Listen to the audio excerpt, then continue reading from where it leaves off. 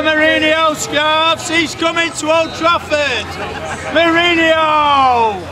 Yes, Obviously, he's just trying to make a few quid, but the fans are turning up as well, talking about Jose Mourinho.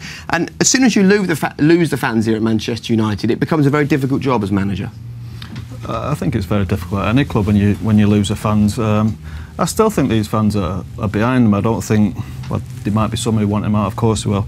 Um, but I still think the majority are behind him and, and they want him to turn it around. Um, I'm not quite sure what that clown's doing there, but um, no, I'd, there's a lot of pressure on him. He, he, has to accept there's a lot of pressure on him. Not winning a, not winning a game for United in seven games is just unacceptable. Mm.